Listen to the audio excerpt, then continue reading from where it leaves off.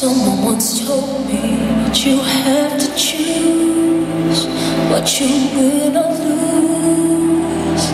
You can't have everything. Don't you take chances, you might feel pain. Don't you love it?